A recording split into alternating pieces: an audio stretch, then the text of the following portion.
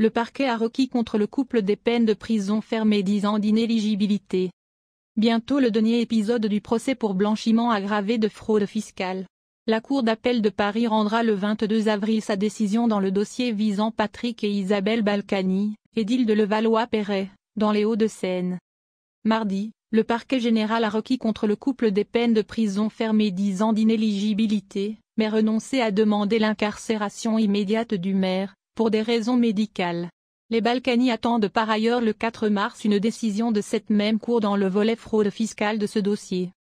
Pour sanctionner une des plus graves atteintes à la probité, le parquet général a demandé 5 ans de prison, dont un an avec sursis et 10 ans d'inéligibilité contre le maire de cette commune sud de l'ouest parisien, qu'il dirige presque sans discontinuer depuis 1983.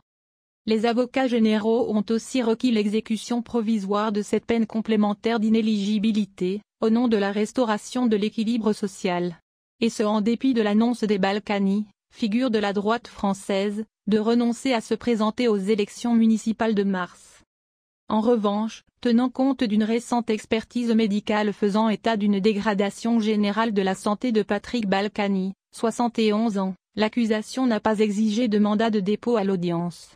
Hospitalisé presque sans discontinuer depuis la mi-décembre, l'ancien baron des Hauts-de-Seine n'a pas assisté à son procès en appel à Paris.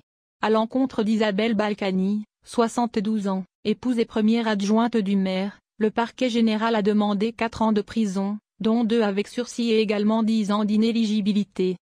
D'autre part, la Cour d'appel de Paris examine ce mercredi après-midi une nouvelle demande de mise en liberté de Patrick Balkany. Si la Cour faisait droit aux demandes de la défense, il pourrait sortir de prison dès mercredi soir.